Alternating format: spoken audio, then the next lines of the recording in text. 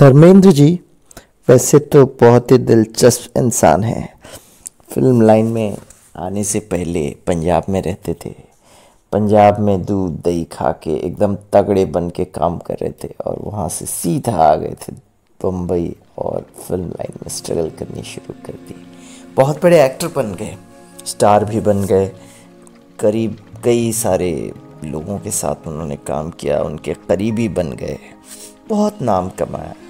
बहुत सारी हीरोइनों के साथ भी उनके अफेयर्स के चर्चे भी काफ़ी हुए। लेकिन धीरे धीरे आगे बढ़ते बढ़ते बड़े बड़े डायरेक्टरों के साथ काम किया। लेकिन एक ऐसे डायरेक्टर हैं जिनके साथ उनका पाला पड़ा। उनका नाम है पहलाज नीलानी। पहलाज नीलानी जो हैं, वो ऐसे डायरेक्टर हैं, थोड़े से सख्त किस्म के थे। वो नहीं चाहते थे कि सेट पे ज़्यादा मज़ाक किया जाए, या देर से आया जाए, या दारू वारू पी के आए। धर्म जी जो हैं, थोड़े ड्रिंकिंग हैबिट के अल्कोहलिज्म उनमें थी और एक ज़माने में बहुत ज़्यादा पीते थे, वो ये नहीं चाहते थे। और वैसे धर्मेंद्र जी की एक आदत होती थी कि कोई डायरेक्टर अगर उनके मतलब ऐसा लगेगा कि उनके साथ बैठ के नरेशन लिया जाए तो वो नरेशन लेते थे। वैसे कई डायरेक्टर्स होते थे, जैसे ऋषिकेश मुखर्जी। धर्म जी को उन्होंने कभी पूरी स्टोरी नहीं सुनाई। तो एक आउटलाइन वो सुना देते थे।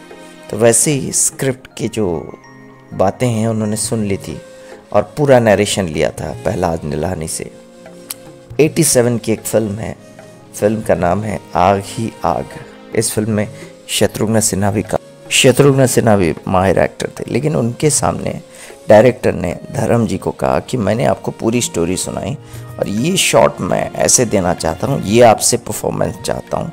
तो पंद्रह रीटेक उन्होंने ले लिए, पंद्रह रीटेक धर्मेंद्र से। धर्मेंद्र जी ने बस यही कहा कि मैं नया आदमी नहीं हूँ, पहलाज तो मेरे से तुम पंद्रह रीटेक लोगे, ये अच्छी बात नहीं है। बस वहाँ से चल दिए। धर्मेंद्र जी आज 87 सेवन ईयर्स में एक्टिव हैं और आज भी फ़िल्म शूटिंग कर रहे हैं।